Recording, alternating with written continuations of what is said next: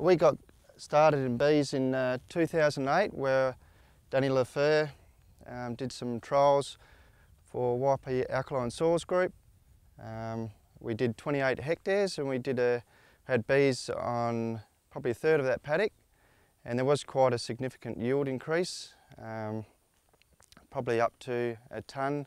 Since then we uh, grew them in 2009 and 10 and last year, 2011, and definitely the yields have been um, very consistent. Um, we've been consistently growing around that 3.94 tonne a hectare. Over the last five years, our uh, approach to chemicals, insecticides have changed. Um, we're try, trying to take a lot more of an IPM approach, um, whereas before that we were probably uh, a lot of uh, pre-emergence and uh, a lot of applications of chemical. We're just chucking in a SP just for preventative and the cheapness of it all. Um, but realising uh, now how much damage that was doing to a lot of beneficial insects on our farm. So now we uh, pay a lot more attention to monitoring.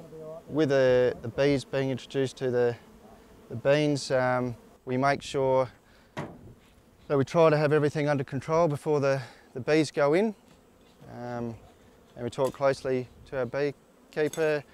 If there does pop up a, um, something's happening that we need to apply a, an insecticide or something goes wrong, we can, um, they can be removed and uh, we can easily go and, um, go and put that chemical out and uh, reintroduce them afterwards.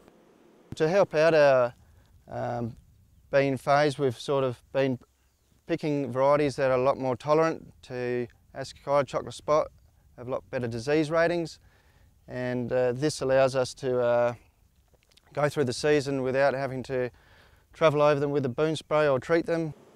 The bees, we can't contain them in uh, exactly the one paddock, so we have to be uh, um, quite wary of what's growing around us um, and also in our own rotation. Um, it's quite easy to control our own rotation, but our neighbours, uh, we don't get much of a choice what our neighbours grow. So, but often if there's canola growing right alongside, they, uh, the bees are, are quite favourable to fly over the fence. So that's just something we have to be um, quite wary of. One way of helping the situation is uh, applying insecticide early in the morning when the bees aren't active. Um, generally it needs to be, usually you see bees starting to get active 14, 15 degrees. They start flying around the place. So if we know that um, there's a job to do, if we can do that early in the morning around that paddock, um, we should have a, a lot safer outcome.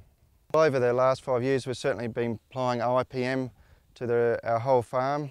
We're taking a farm approach, um, not only the beans, but all our other crops.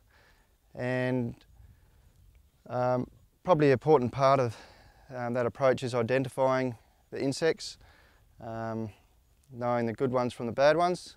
Just trying to create thresholds that we're comfortable with. Um, it's uh, sometimes it's not the easiest thing it's uh, quite easy to go and uh, spray a application of SP or something and wipe them out and sleep easy, but by doing that we're certainly having a pretty negative effect on all our beneficials and I think if we keep going and knocking our beneficials out, as years go on we're just going to find ourselves in a lot worse position. We've seen all the uh, resistance and a lot of other chemicals and we certainly don't want to go down that line um, with insecticides.